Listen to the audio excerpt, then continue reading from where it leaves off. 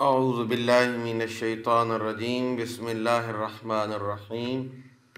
السلام علیکم ورحمۃ اللہ وبرکاتہ۔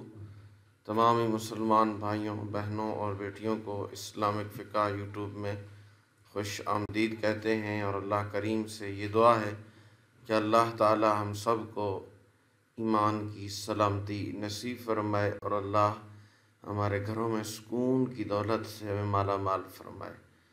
جو مسلمان بھائی، بہنیں اور بیٹیاں بیمار ہیں، اللہ کریم ان تمام کو صحت و تندرستی نصیب فرمائے اور اللہ کریم نبی پاک صلی اللہ علیہ وسلم کا صدقہ ہم پہ رحم اور کرم فرمائے۔ یہاں ایک بات عرض کرتا چلوں کہ کچھ دن پہلے جو مدینہ النبی روز رسول صلی اللہ علیہ وسلم کے پاس کچھ لوگوں نے نعرے بازی کی۔ حالانکہ اللہ کریم ارشاد فرماتے ہیں امن دخل کا نامنا کہ جو حرم میں داخل ہو گیا وہ امن والا ہے۔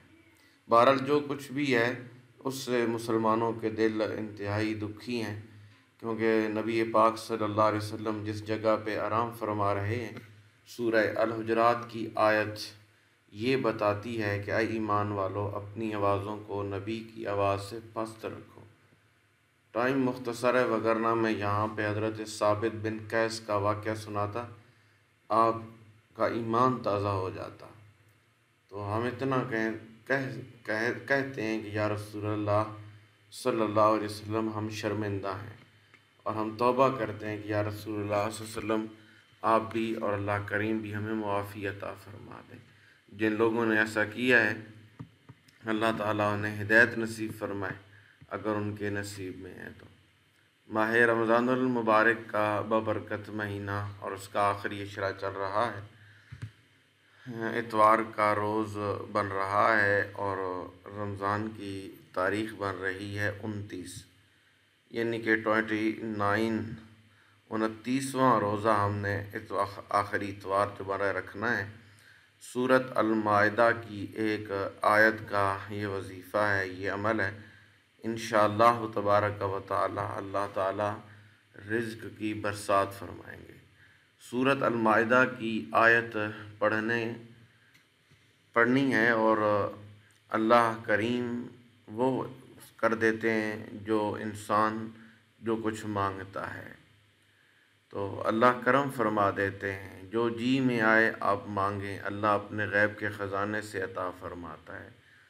اگر آپ رزق کی تنگی سے پریشان ہیں، رشتوں کا مسئلہ ہے، نوکری کا مسئلہ ہے، پڑھائی میں دل نہیں لگتا، جادو کا اثر ہے، صحت روز بروز خراب ہو رہی ہے، اولاد نافرمان ہو، اولاد نرینہ کی خواہش ہو یا کسی خاص چیز کی حاجت ہو، تو اس آیت کا عمل آپ جب کریں گے تو انشاءاللہ تبارک و تعالی اللہ کریم کے فضل و کرم سے بہت زیادہ آپ کو فائدہ ملے گا۔ مفسرین کے مطابق المائدہ کا معنی ہے اسمان سے اترنے والا دسترخوان۔ تو اس صورت میں حضرت عیسیٰ علیہ السلام کے ایک واقعہ کا ذکر ہے، جس میں قوم نے ان سے تقاضا کیا تھا کہ آپ علیہ السلام آسمان سے دسترخوان کے اترنے کی دعا کریں۔ اور حضرت عیسیٰ علیہ السلام نے دعا کی تو پھر دسترخوان نازل ہوا۔ دسترخوان مطلب مختلف قسم کی جنت سے کھانے۔ اس لیے اس صورت کا نام المائدہ رکھا گیا ہے۔ تو اس کی آیت نمبر ایک سو چودہ۔ ون ہنڈریڈ، یہ جو ہے نا، فورٹی، فورٹین نمبر جو آیت بن رہی ہے۔ تو اس آیت کو ہم نے رمضان کے آخری اتوار اور انتیس رمضان بن رہے ہیں۔ اول آخر نبی پاک صلی اللہ علیہ وسلم کی ذات پہ درود پاک پڑھنا ہے۔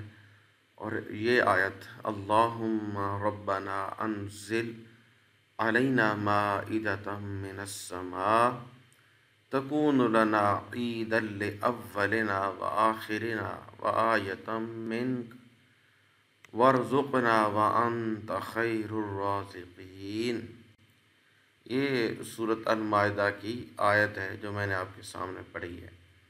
اس آیت کو اول آخر درود شریف اور درمیان میں کم از کم گیارہ مرتبہ یعنی الیون ٹائم ہم نے اس صورت کی، اس آیت صورت المائدہ کی، یہ جو آیت ہے، ایک سو چودہ نمبر، اس کی ہم نے تلاوت کرنی ہے۔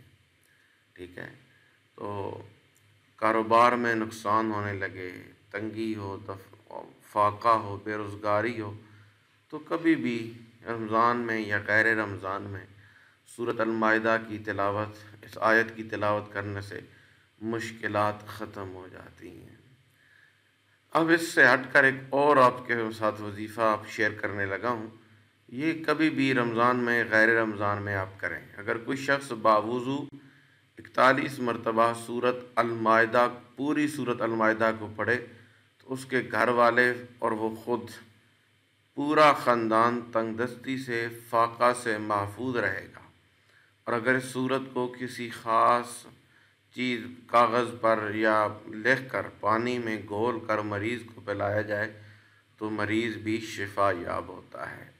اگر کسی کی زبان میں لکنت ہو یا زبان جو ہے وہ لڑ کھڑاتی ہو، بولنے میں ہچکچاہٹ ہو، تو اس صورت کو ارک گلاب سے لکھ کر اور اسے پانی میں گھول کر پی لیا جائے تو زبان کی لڑکھڑاہٹ جو ہے وہ دور ہو جاتی ہے۔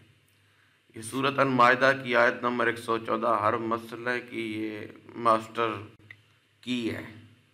یوں سمجھیں۔ تو عرض یہ کر رہا تھا، گیارہ مرتبہ آپ نے اس آیت کو پڑھنا ہے۔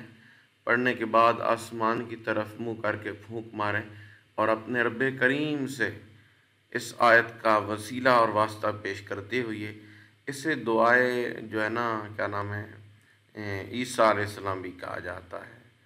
پوری آیت تو ہے نا، قال عیسیٰ ابن مریم، اللہم۔ لیکن ہم نے وظیفہ یہاں سے شروع کرنا ہے، اللہم ربنا انزل علینا مائدتا من السماء تکون لنا عید لأولنا و آخرنا و آیتا منک ورزقنا وانت خیر الرازقین۔ اے ہمارے رب، آسمان سے ہم پر کھانا نازل فرما۔ اور وہ دن ہمارے لیے اور ہمارے آنے اول اور آخر عید کا دن ہو۔ ٹھیک ہے، اور ہمیں رزق عطا فرما تو سب سے بہتر رزق دینے والا ہے۔ تو یہ ہر مسئلے کی ماسٹر کی ہے۔ آپ کبھی بھی اس، اسے پڑھیں، اس کی تلاوت کریں، دیکھنا اللہ ہے، کیسے آپ کو دین اور دنیا کی نعمتیں عطا فرماتے ہیں۔ انشاءاللہ عز و جلن قریب اسی طرح کی ایک اور آیت صورت الطلاق کی اس کا وظیفہ لے کر میں انشاءاللہ آپ کے خدمت میں حاضر ہوں گا۔ وہ بھی بے مثال، لاجواب وظیفہ ہے۔ انشاءاللہ تبارک و تعالی، اللہ تعالی ہم سب پر رحم فرمائے، اللہ ہم سے راضی ہو اور اللہ ہمیں دین اور دنیا کی عزتوں سے، عظمتوں سے مالا مال فرمائے۔ اپنی دعاؤں میں یاد رکھنا اور اپنا ڈھیر سارا خیال رکھنا۔ ملیں گے نیکسٹ ویڈیو میں۔ اللہ حافظ۔